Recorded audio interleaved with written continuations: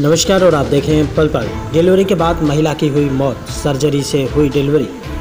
परिजनों ने लगाया अस्पताल पर लापरवाही का आरोप। निजी अस्पताल के समक्ष शव को रखकर किया रोष प्रदर्शन।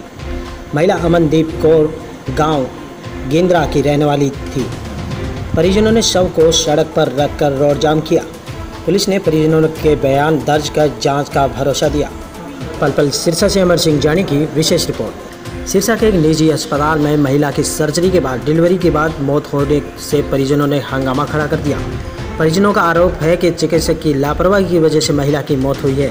उन्होंने कहा कि सर्जरी के दौरान डॉक्टर की लापरवाही की वजह से महिला में कोई नस कट गई, जिसकी वजह से ज़्यादा रक्त सत्राव होने की वजह से मौत हुई है।